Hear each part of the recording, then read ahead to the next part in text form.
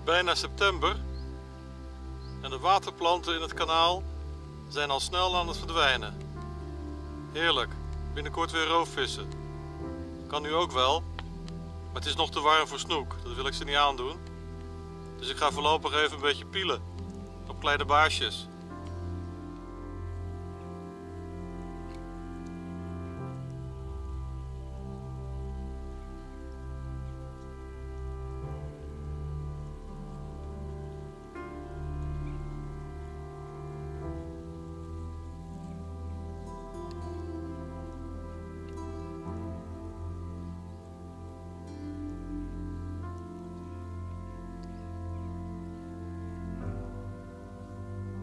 De baarsjes zijn vervelend vandaag. Ze zwemmen massaal. Achter mijn twistertje aan. Maar haken doe ik ze niet. Ik krijg tikjes, ik krijg staartenbijters. Dus het is tijd voor een truc. Ik hang er een kleintje boven aan een zijlijntje. Kijken wat er gebeurt.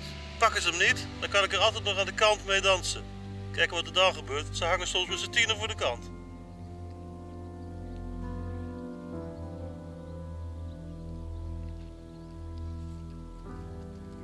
Haha, het werkt.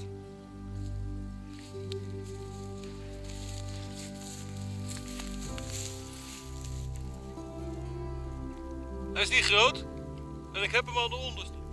Ik ben een half uurtje bezig en het is niet wild. Ik heb er vijf. Drie op het kleintje bovenin en twee op de onderste twister. Ik ga eens kijken of een ander kleurtje het beter doet. Op de kleinste.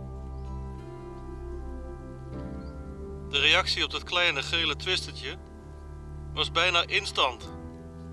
De stand is inmiddels 5-2 voor de bovenste twister. Helaas zijn het wel allemaal hele kleintjes. Er zijn er maar een paar die net boven de 10 centimeter zaten. Nou ja, goed. Laat ik zeggen 15 centimeter. Ik ga door. 9-4 met dit visje. En dan wel 9 voor de bovenste, de kleinste. En 4 voor de onderste. Kleine visje kwam toevallig op de onderste. En ik heb net een hele grote baars gezien. Kijken of ik hem kan vangen.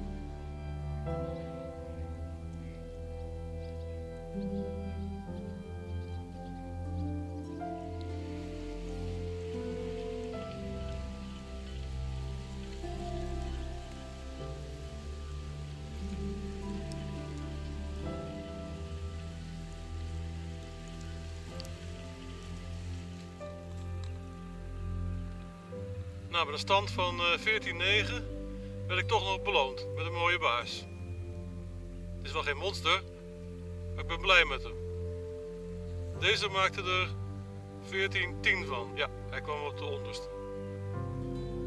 Het voordeel trouwens van het systeem is dat je niet alleen voedselnijd eh, creëert, maar je kunt het ook heel langzaam binnenvissen. Dat is absoluut een voordeel als ze zo traag zijn. Dat zijn ze toch wel een beetje vandaag. Want ik ben beter gewend op dit water.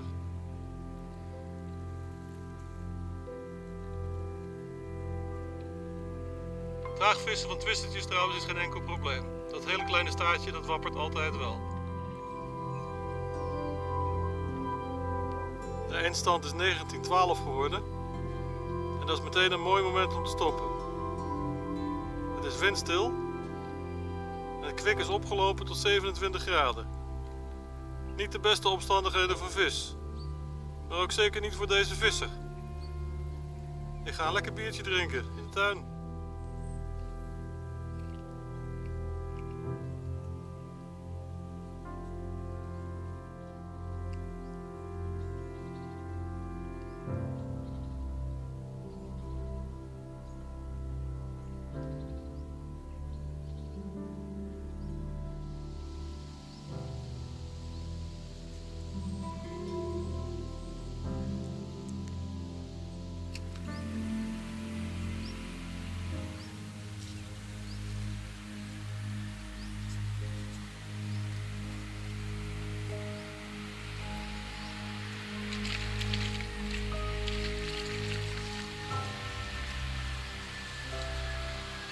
Bovenste.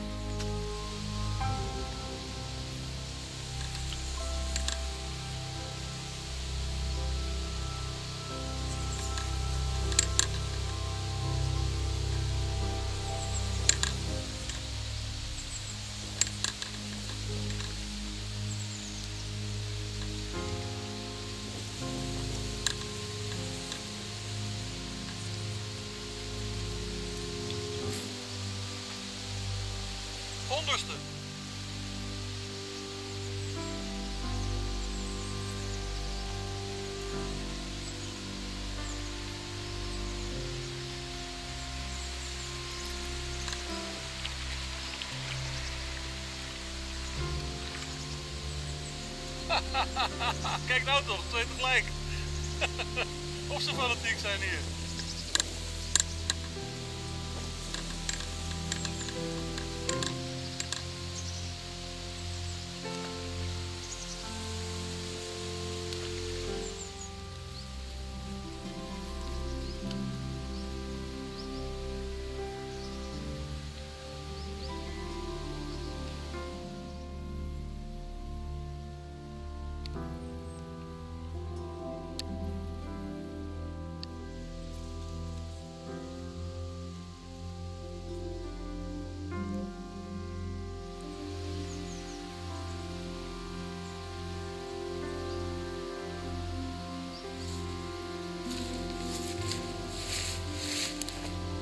Als je zo'n schooltje treft, dan vang je er meestal een stuk of drie, vier.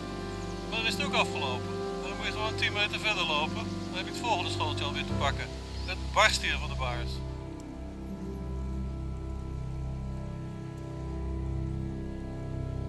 Leuk baasje. Altijd leuk om wat te vangen trouwens.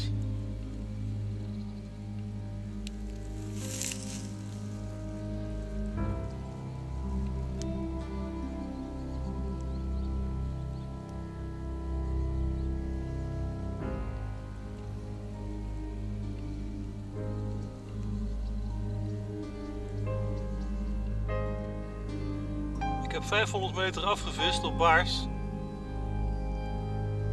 En na een kwartier was ik de tel al kwijt. En ik doe dat allemaal met dit hengeltje. Een jongenshengeltje van Chinese makelij.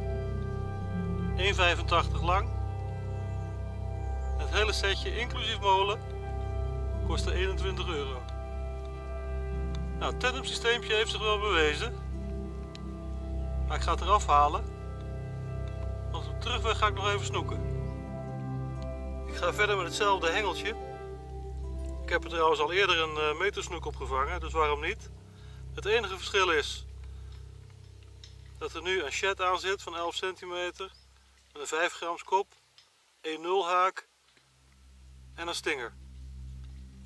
En uiteraard een spinstangetje. We gaan zien wat het brengt. Ik word te oud voor dit werk. Ik ben net 5 minuten bezig. Ga ik op mijn plaat. Doe deze tak. Ik lazer in de brandnetels. En dat is op zich allemaal niet zo erg. Behalve dat ik straks onder de pukkels zit. Maar dit is vervelend. De slinger van mijn molentje is afgebroken. Nou, nog een paar honderd meter tot de auto. Ik ga toch even proberen met dit molentje. Nou, dat gaat geen succes worden, dat is duidelijk.